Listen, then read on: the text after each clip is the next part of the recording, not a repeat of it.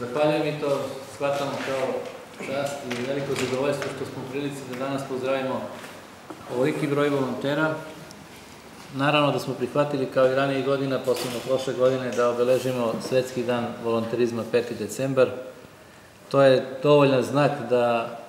volonterizam ne, ne zna za granice jer je praktično svetski dan, ali ja po ovome jasno vidim da ne zna ni za uzrast, ni za pol, ni nema razlike u onima kojima treba zahvaliti zbog nečega što su dobro uradili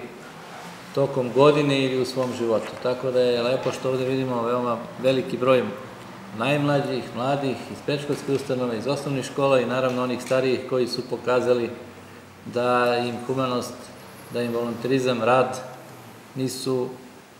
teškoće nikakva. Dakle, zahvaljujem svima koji su u prethodnom periodu pokazali da zaslužuju da im uručimo jedno ovako priznanje. Dobro je što taj Međunarodni dan pada evo ovako pred kraj godine, lepo je da sumiramo prethodnu godinu, ovu godinu koja izlazi praktično i da kažemo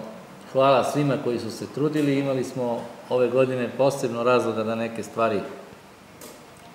uradimo, da se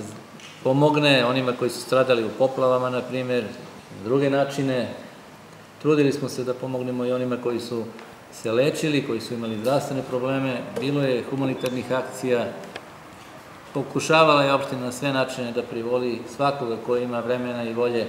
da nešto uloži za širu društvenu zajednicu, pa smo mi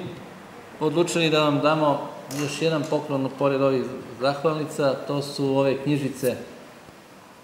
da se vidi s obzirom da ipak ima priličan broj onih koji su se rodili kad više nije bilo radnih akcija, da su u prošlosti ljudi iz ovog kraja imali jaku volju da učestvuju, da rade, da, iz, da grade, da grade svoj kraj i svoju zemlju i u toj knjizi je praktično zbirka svega onoga što su radili, da tako kažemo, ipak volonteri od kraja rata, drugog svetskog rata pa do momenta kada smo ustanovili da više tih akcija nema i da je na neki način obnova i izgradnja zemlje završena, to je 80. godina. Pa se nadam da će to biti još jedan izvor inspiracije za sve vas da čitajući ovo vidite kako su tu neki čike, dede, babe možda sada već e,